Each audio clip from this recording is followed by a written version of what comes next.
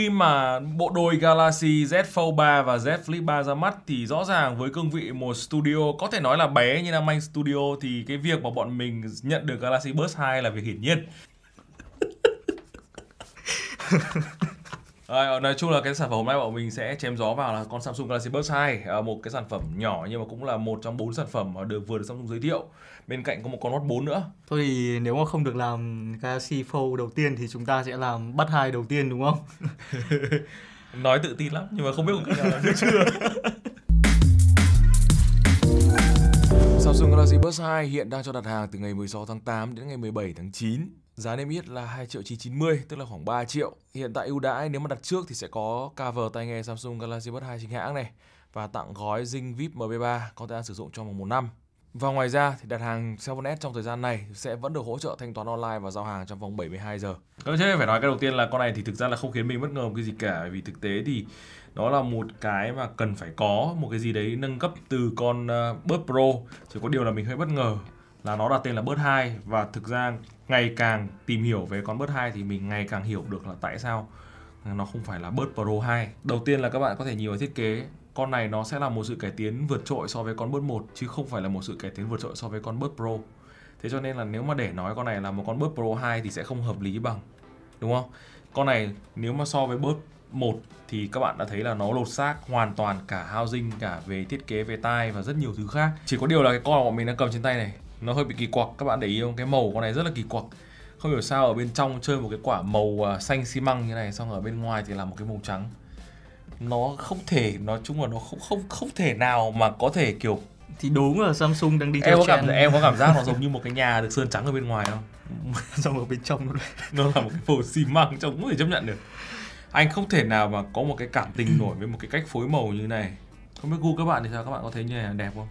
Nếu mà có thì chúng ta chỉ đơn giản là khác gu thôi. Sản phẩm này thì bên cạnh cái thiết kế nó khác biệt thì mình cũng phải có một lời khen là nó khác biệt nhưng mà nó lại là hữu dụng và nó đáng tin cậy. Nó hữu dụng bởi vì nó cho chúng ta một cái case nhỏ gọn cả về chiều dày lẫn cả về kích thước. Mình cảm giác nó có thể quăng quật được thoải mái hơn là cái case của Apple AirPods. Cái cây của AirPods các bạn không dựng thẳng được như thế này. Nhưng mà con này thì ra các bạn dựng thẳng được.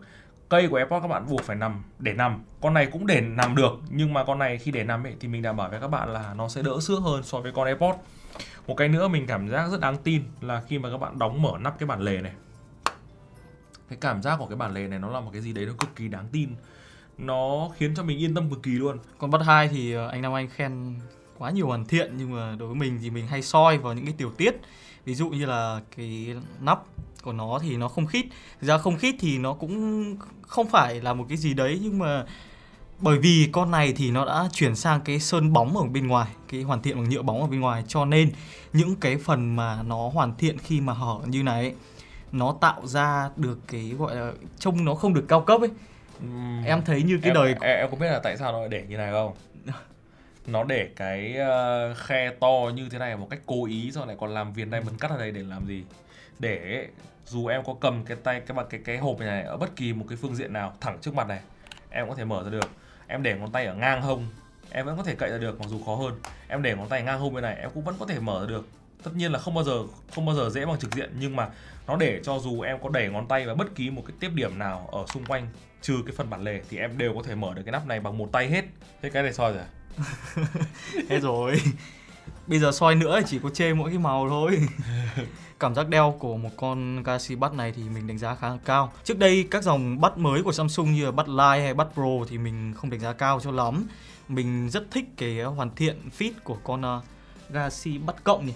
Cái con ừ. từ cổ lỗ sĩ ngày xưa ấy mình đeo cực kỳ fit và đến thời điểm tại thì Buds 2 nó làm khá là tốt. Và hơn nữa nhé, con Buds Pro nó có một đặc điểm như này đó là cái tip của nó nó có một cái khớp riêng để chỉ lắp được một cái tip của Samsung thôi và vô hình chung là sau một thời gian sử dụng khi mà tip nó rão thì anh em không thể tìm được những cái tip stock khác mà phải đến tận cái trung tâm bảo hành của Samsung để mua lại cái tip đấy. Cái con Buds 2 này thì đã khắc phục đấy điểm yếu đấy và đã sử dụng một con tip nó chuẩn hơn so với các sản phẩm chu wireless nó khác. Có phải là bây giờ mua mấy cái tip của Autophone các thứ này về thì có lắp được không? Autophone thì lắp được nhưng mà không lắp được vào case mà bọn Twilight nó sẽ có một cái tip của bọn uh, uh, is, uh, Spin Fit, cái nó con ngắn uh, ngắn. CP 360 360 chính xác. cái đoạn ngắn ngắn đấy của nó là vừa Về tính năng của Galaxy Buds thì ờ, nó là một cái gì đấy làm em cũng kiểu phân vân phân vân vãi chưởng ấy. Ờ, Con này thì ờ, cũng có Bluetooth mới nhất 5.2. ừ. Các công nghệ ví dụ như driver hai hai driver hoặc là các thứ. Ờ, rồi Nhưng mà anh anh anh rồi nhưng đi nhưng mà từ trước đến giờ thì Samsung vẫn làm chống nước là IPX2 các bạn ạ. Nghĩa là chỉ cần giọt nước nhỏ thì cũng có thể ảnh hưởng đến cái tai nghe của anh em. IPX2 thì không đến mức là dùng là giọt nước nhỏ đâu nghe hơi quá tà té gọi là tí mồ hôi kiểu như tay mình đang dính tí nước vừa rửa bát xong là quệt quệt quệt được tí chưa khô hẳn À. là sờ sờ vào nó cũng đỡ kiểu như thế. Đấy đây là đấy là một số cái mà gọi là nó có cải tiến so với con bớt 1 và nếu như mà em nhìn vào các cái tính năng khác khi mà so với con bớt 1 thì thực tế là Bluetooth 5.2 cũng là một bước tiến khá là dài so với bớt 1 rồi thì chúng ta có sạc không dây mà chuẩn với lại Samsung xe tức là vừa sạc ờ, chuẩn chi nhá vừa sạc ờ, Samsung xe. Ờ, kiểu như là nhờ những con Samsung mà có sạc ngược là đã có thể tương thích được. Đấy là một cái mà cũng là một cái cải tiến rất là nhiều rồi Active Noise Cancelling đúng không? Là một cái cải tiến cũng rất nhiều so với con Bird 1 Ờ, anh nghĩ rằng là nếu như mà chúng ta có một con Bird Pro 2 thì đấy sẽ là một con khác hoàn toàn. Nó giống như con Bird Pro khi mà nó so với con Bird 1 nó không chỉ là ra mắt rất xa so với con Bird 1 mà nó còn khác hoàn toàn. Thì anh nghĩ là nếu như nó là con Bird Pro 2 thì nó sẽ khác. Còn đây chỉ là một con Bird 2 thì về công bằng mà nói thì chúng ta nên so với con Bird 1 và với những cái tính năng như thế là anh nghĩ nó cũng gọi là nó đã update. update lên khá nhiều. Chỉ có mỗi một cái là cái việc mà Samsung với Apple cạnh tranh với nhau thì thật sự là người dùng như mình là bất lợi Ờ, như kiểu mình dùng mấy con Active, mấy con đồng hồ của Samsung ở trên iPhone thì rất là hay miss naughty rồi hay bị đứt kết nối theo kiểu là bất thình lình rồi thì lúc có, lúc đứt, nó rất là dở hơi. Thì chuyển sang là đối với tai nghe Samsung dùng cho máy của Apple thì không có app. Tóm lại là các bạn kết nối với cái tai nghe, các bạn dùng đến chết, chấm hết, các bạn không có app, các bạn không thể nào mà tùy chỉnh theo ý các bạn muốn một cách gọi là dễ dàng như ở trên các thiết bị Android được. Đối với các thiết bị Android thì ờ, cái app Samsung Wearable hay là Galaxy, Galaxy nhỉ? ừ. Galaxy Wearable thì anh em có thể tùy chỉnh sâu hơn. Ví dụ như anh em có thể custom về cái việc thực ra là mình mần ở trong đấy thì có những cái ví dụ chỉnh EQ thì nó ok. Hoặc là việc update phần mềm cho Galaxy Buds 2 là có thể sử dụng được. Còn nếu mà sử dụng ở trên một chiếc iPhone ấy thì coi như là anh em sẽ sử dụng như kiểu stock từ hãng sản xuất ra và anh em có thể điều chỉnh ví dụ như là neck bài này, pause bài này hoặc là tùy chỉnh mấy cái ờ, chống ồn vậy thôi hết rồi Đây là tiếng từ mic của Samsung Galaxy Buds 2 khi đứng trong gió. À, mình đang đứng cách cái quạt cây gieo tường số to nhất khoảng độ tầm mét. Nó đang thổi thẳng vào mặt mình. Không biết là đây là trực diện ở đây là ngang này. Các bạn nghe tiếng nó lọc gió nó có tốt không?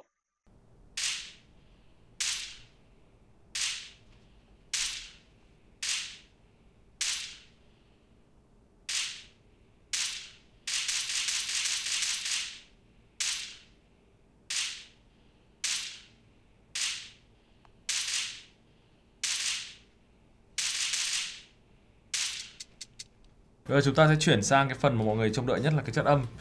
Thì về Samsung Galaxy Buds 2 mình có thể dùng một từ là khá tốt. Khá tốt cho một con tai nghe True Wireless. Và nếu như ở tầm giá của Samsung đưa ra cho con này là như là 4 triệu 4 triệu rưỡi gì đấy thì phải. 2 triệu 990 À, lẫn à. à nếu như với cái tầm giá mà Samsung đưa ra cho con này là 2 triệu 990 thì thực ra cái chất âm như này mình không có gì ngạc nhiên cả. À, một cái chất âm có thể nói là họ tập trung khá nhiều vào ba thứ, một là vi xếp hai là độ chi tiết và cái thứ ba nữa là cái tính ờ, mì ăn liền của cái chất âm này. Cái cái giải trầm, đặc biệt là cái về cái giải trầm. Cái vi xếp là cái hiển nhiên này nhá. Ờ, đối với một cái tai nghe dành cho đối tượng là trẻ trung dùng là chính thì cái ờ, vi xếp là một cái cách tune âm nó an toàn thằng Hải thì nó thường nó thích cái kiểu neutral bright nó không thích cái kiểu V-shape. Nhưng mà mình thấy V-shape là an toàn đặc biệt là ở những cái nốt giải cao. Nên khi các bạn nghe mấy cái nốt cao ấy các bạn cảm giác nghe như, như được đánh từ đàn điện tử ở keyboard ra ấy nghe nó có một cái tính điện tử rõ rệt nó có một cái sự gai gai và nó cái hài âm của nó nghe khá là dị. Thực ra thì uh, nếu các bạn mà để ý nhiều đến cái lĩnh vực tai nghe thì AKG họ làm rất nhiều đồ trong phòng thu. Và từ trước giờ những con tai mà cột mác AKG chuẩn gốc ấy thì họ cũng tun theo kiểu gai gai khô khô như vậy và đem vào con Galaxy Buds thì nó vẫn như vậy luôn. Nói chung là với anh cá nhân anh thì anh không thích cái kiểu đấy cho lắm. À, nhưng mà bù lại thì phải công nhận một điều rằng là cái kiểu vi xếp ấy thì nó cũng khiến cho cái tai nghe nó dễ nghe. Nó có một cái giải trầm nó theo anh ấy là đủ dùng với anh.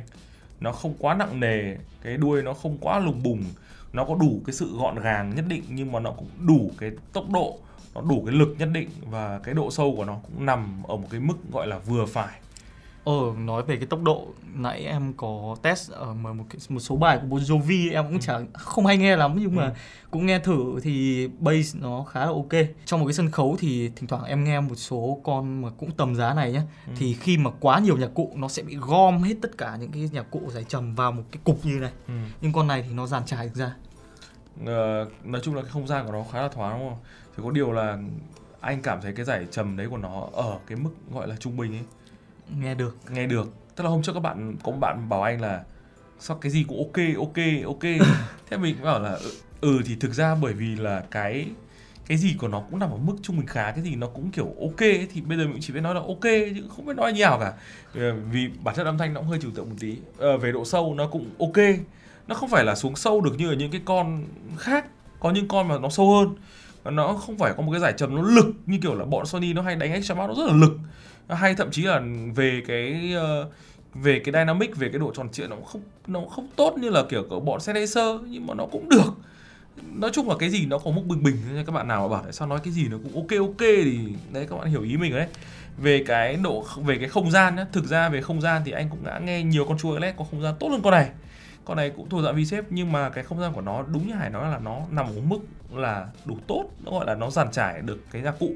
Nhưng mà bù lại là vẫn phải nói là cái giải chép này nó vẫn gai gai nó khiến cho anh cảm nó tun anh nghe cảm giác không thích. Đấy là anh nghe stop thôi. Anh nghe bằng cái app ấy nó có sẽ có một cái phần gọi là custom cho EQ ấy. Ừ. thì nó có đoạn chi tiết và sáng nó nghe còn bị chóe chóe hơn cơ. Chắc là em đoán là cũng chả hợp đâu đặc biệt là anh rất hay nghe người đàn ông kèn sáo phải à. không? Anh thích nó cái gì đấy nó mang tính chất nó mộc mộc một tí. À, về vocal thì con này mặc dù nó vi dép nhưng mà nó vocal vẫn ổn. Anh thấy vocal khá là ổn. Em chưa test vocal nữ nhưng vocal nam thì ok. Ờ nó có vocal rất là rõ ràng độ chi tiết cái độ gai cái độ grain ở trong giọng hát ấy nó lên rất là rõ rệt. Và thực sự là cái không gian mặc dù nó thoáng nhưng mà cái giọng vocal nó không bị kiểu như là từ vương quốc khác vọng lại đâu nghe ổn. À nhắc đến cái độ gai thì nghe cái vocal vocal nam ấy. Em rất thích những cái vocal nam nhưng mà cái tai nghe nào mà nó hơi khô khô một chút ừ. thì nó sẽ đem lại tiếng gai gai ở vocal nam. Em cực kỳ thích cái tiếng ấy. Ờ, còn anh nam anh thì chắc là hơi ghét. Ờ, anh anh anh thì thích mượt mượt tí ừ. nhưng mà nhưng mà giọng nam thì cũng được. Giọng nữ thì gai thì anh không thích lắm. À, nói chung là giống như anh nói vậy một cái kiểu tu nó dễ nghe tạp nhiều an lứa tuổi an toàn cái gì nó cũng nằm ở mức ok và cái mà nó tập trung chính ở con tai nghe này nó là về tính năng chứ không phải là về chất âm. À, nếu như các bạn mong muốn một con tai nghe có chất âm đột phá các bạn nào đang dùng con ờ, Bud Pro và đã mua rồi chẳng hạn bây giờ nhìn thấy con Bud 2 trông có vẻ nâng cấp thì mình nghĩ là không nên. Bạn nào đang dùng bớt 1 hoặc là bớt cộng các bạn muốn nâng cấp lên bớt 2 thì hiển nhiên là nên. Bởi vì kể cả chất âm nó có không thay đổi nhiều lắm đi chăng nữa thì ngay kể cả bản chất cái công nghệ đã thay đổi đi nhiều rồi. Nhưng mà các bạn yên tâm nếu các bạn lên thì các bạn sẽ vẫn đón chờ một cái âm mới. Bởi vì giải bass con này nó là một cái gì đấy nâng cấp so với giải bass ở trên con bớt cộng trở xuống. Nó không bị lùng bùng như cái bọn bớt cộng trở xuống đâu. Đấy, cái đấy là cái rõ rệt. Và nếu mà để nói mà nghe nhạc gì hợp thì như mình đã nói ngay từ đầu rồi nó là một con vi xếp nghe tạp rất là tốt. Bạn nào thích kiểu nghe tạp không thích nghe quá nhiều giải trap không nghe quá nhiều giải trap không quá chú trọng về kiểu giải trap như kiểu nghe violon nhiều, nghe kèn sáo nhiều thì đây sẽ là một con tai nghe khá là phù hợp theo quan điểm của mình. Sản phẩm này một lần nữa sẽ được đặt trước trong khoảng từ ngày 16 tháng 8 đến ngày 17 tháng 9 với mức giá là 2 triệu 990 và được tặng cover Samsung Galaxy Buds 2 chính hãng à, tặng gói GVIP 13 nếu như mà đặt hàng từ ngày 17 đến ngày 30 tháng 9 và à, các bạn đừng quên là Sephonet thì sẽ hỗ trợ giao hàng thanh toán online trong vòng 72 giờ. Còn video này là hết rồi, đừng quên like và subscribe channel của Nam Anh Studio. Còn đây, bye bye.